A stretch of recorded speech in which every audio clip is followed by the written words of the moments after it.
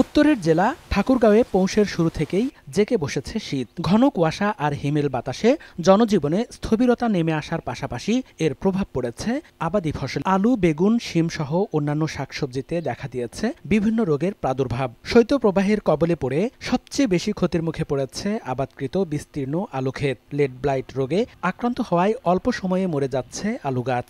আমাদের গাছগুলো কোকড়া লেগে যাচ্ছে শীতের কারণে। এবং এটার কারণে গাছগুলো বাড়তেছে না এবং গাছগুলো কিছু জ্বলে যাচ্ছে ঝাপসা হয়ে যাচ্ছে। ফসল বাঁচাতে নিয়মিত পরিচর্যা আর অতিরিক্ত অর্থ ব্যয়ে সার কীটনাশক ও কুয়াশানাশক ওষুধ ব্যবহার করছেন কৃষকেরা। এক বিঘা আলু আবাদে যেখানে খরচ হয় ত্রিশ থেকে পঁয়ত্রিশ হাজার টাকা সেখানে এখন গুনতে হচ্ছে পঁয়তাল্লিশ থেকে পঞ্চাশ হাজার টাকা।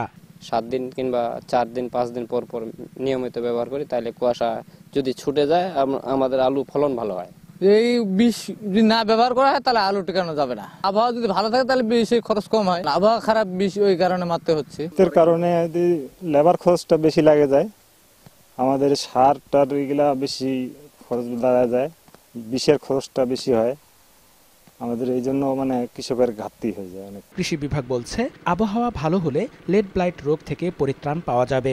মাঠের সম্প্রসারণ যে কর্মকর্তা আছেন তাদের মাধ্যমে আমাদের কৃষি সম্প্রসারণ বিভাগের পরামর্শ মোতাবেক স্প্রে করছেন নির্দিষ্ট সময় অন্তর অন্তর চলতি মৌসুমে জেলায় পঁচিশ হাজার হেক্টর জমিতে আলুর চাষ হয়েছে আর বেগুন, শিম, টমেটো সহ অন্যান্য শাকসবজি আবাদ হয়েছে সাত হাজার আটশো পঁচাশি হেক্টর জমিতে। কৃষি বিভাগ পাঁচ লাখ মেট্রিক টনের বেশি আলুর উৎপাদন আশা করছে। সময় সংবাদ, ঠাকুরগাঁও।